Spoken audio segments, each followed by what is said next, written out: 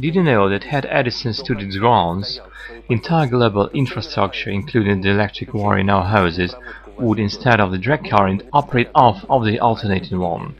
It wasn't long before the beginning of the 20th century when Nikola Tesla invented methods for generation and transmission of alternating current and constructed electric motors operating off such alternating current. And we all know that Tesla did win that fight.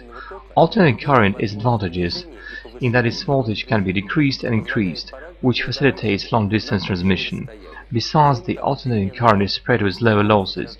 In order to calculate losses of the direct current, due to the resistance of the transmission line, we need to first determine the resistance of the line and then insert it into the power equation.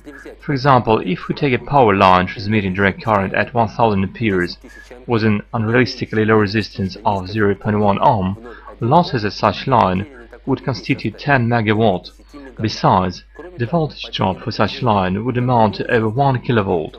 Despite the aforementioned, the fight for returning direct current is still on at the industrial arena.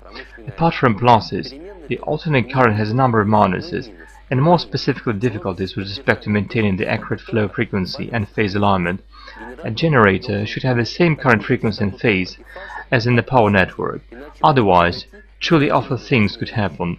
The alternating current has a number of issues with homogeneous power networks set up on the entire territory of an average country, more specifically with the differences in phases in different network sections and the power coefficient. It's also interesting that almost all of the home appliances, including an EPC, immediately convert the alternating current into the direct one, and then use a switching power unit to decrease its voltage to the values required for correct operation of the system. The majority of electronic subsystems operate at the voltage of 1 to 48 volts. One reason for a possible transition to direct current is the growing demand for alternating power sources. Solar panels, for example, generate energy as direct current, which has to be converted into the alternating one for further transmission.